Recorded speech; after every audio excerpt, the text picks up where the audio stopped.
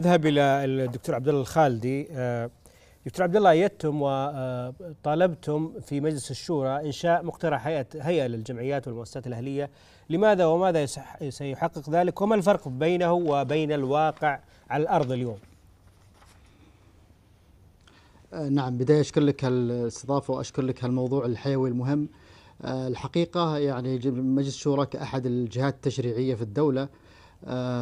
رأت أن القطاع الثالث وما يسمى القطاع الثالث اللي إلى الآن آه، يعتبر مفاهيم الحديثة لأنه أي دولة في العالم لها ثلاث قطاعات القطاع الحكومي والقطاع الخاص والقطاع الثالث هو القطاع غير الربحي واللي هو يمثل جميع المنظمات والمؤسسات والجمعيات والأنشطة الخيرية والمدنية والحقوقية أيضا الغير ربحية.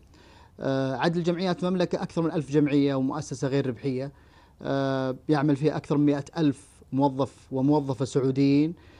فيها أكثر من عشرة ألاف متطوع فقط هذه مجالس إدارات الجمعيات والمؤسسات الأهلية. آه، هناك جامعات مستشفيات مؤسسات. الكثير من الخدمات اللي يقدمها القطاع غير الربحي في كافة فئات المجتمع يحظى بأيضا رقابة من وزارة العمل والتنمية الاجتماعية. لكن هذا القطاع الثالث لا يوجد له مظلة نظامية أو تنظيمية مستقلة تماما وهذا ما اقترحه مجلس الشورى وتم إقراره من المجلس ورفع المقام السامي. يتعلق بإنشاء هيئة مستقلة للجمعيات والمؤسسات الغير ربحية. آه، ترتبط ارتباط تنظيم مجلس الوزراء يساهم في تمكين القطاع آه، من ناحية الأنظمة والسياسات يمكنه في بناء القدرات أيضا يمكنه في الدعم المجتمعي والإستدامة المالية ويساهم بشكل فاعل ومؤثر كما هو القطاع آه، هذا القطاع في معظم دول العالم.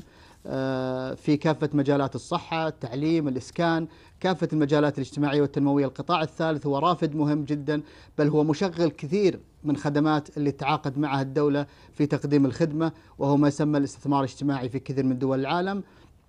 فقط إذا تحدثنا جزء عن الولايات المتحدة مثلا 59% من المستشفيات اللي في الولايات المتحدة الأمريكية هي يشغلها ويملكها القطاع غير الربحي فقط 15% يملكها القطاع الحكومي. الجامعات آه، في أمريكا أكثر من 467 مليار دولار هي أصول وإيرادات وعوائد الجامعات الغير ربحية في آه، الولايات المتحدة الأمريكية.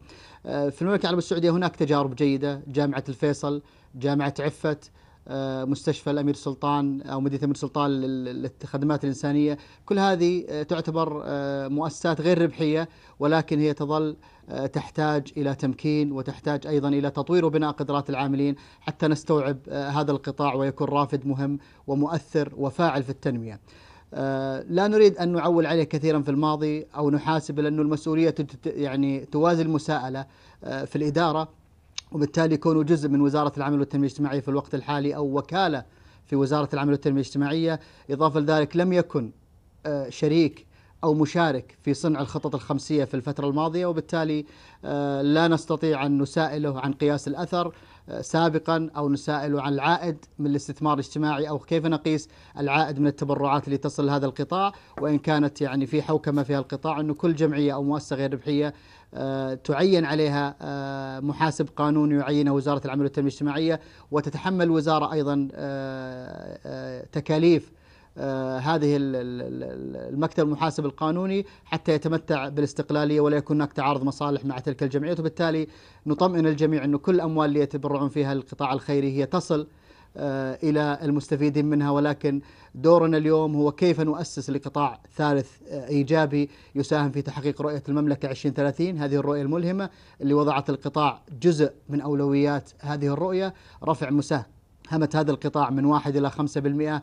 آه هذا شيء إيجابي جدا بناء قدرات القطاع وبالتالي نتفائل إن شاء الله بمستقبل مشرق من هذا القطاع وإن شاء الله تكون يعني نرى ترى هذه الهيئة النور طيب. آه في القريب بإذن الله لتكون رافد في عملية التنمية. حبيت بس كنت بعرف الفرق بين لو صار لو كانت موجودة غير موجودة بس ما جاوبتني بدقة على هذا الموضوع. لذلك إن شاء الله تجاوبني بعد شوي بس خليني أرجع